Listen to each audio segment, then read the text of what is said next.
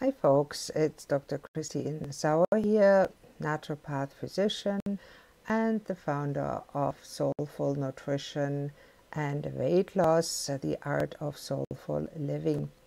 Now, I'm reviewing the science today here and Medscape is a, a journal for physicians now, the surge in eating disorders tied to the COVID-19 pandemic. Now, that doesn't surprise me because when you're sitting isolated at home, being in fear, anxiety and stress changes your gut microbiome, changes your brain, put, increases anxiety and depression. And for some people, it makes them eat. For other people, it induces disordered eating.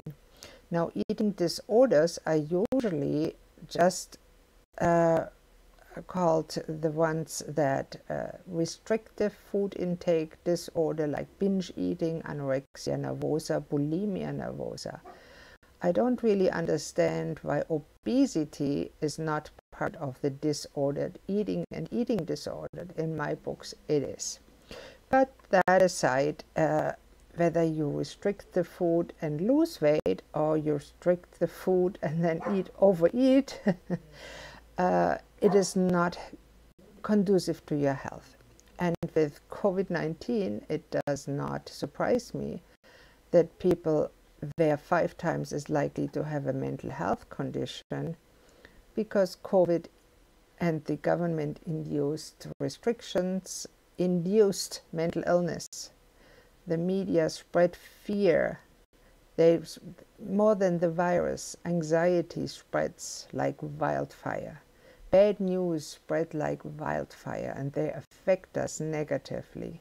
They affect our gut health. People get diarrhea, people get indigestion, symptoms of IBS.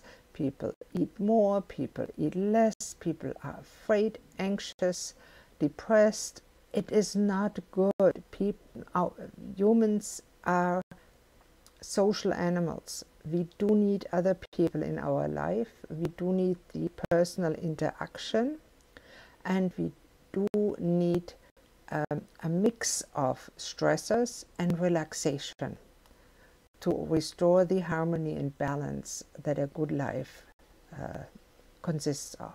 And a good life helps us to stay healthy. Now, it doesn't guarantee eternal health, we can't have that but it, it guarantees us to uh, be, have a good life and work with any illness that comes our way. Now that said, I'm not condemning conventional medicine. It has many, many advantages. But there's also disadvantages and it's important to clearly see them.